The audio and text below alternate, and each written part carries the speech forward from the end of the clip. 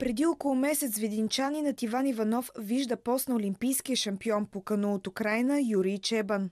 Сторито му той а, искаше помощ за въпросните деца и аз го попитах нали, за какво става дума. Той ми обясни, че те са вече на сборния пункт а, да бягат от войната.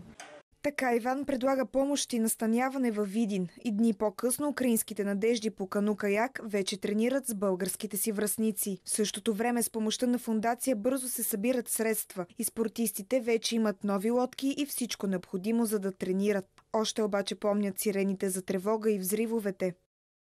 Когато напуснахме Николаев, градът беше под обстрел, но все още не беше окупиран. Моите родители, техните родители, всички са там. Единствено ние напуснахме, за да не стана децата свидетели на ужаса от войната.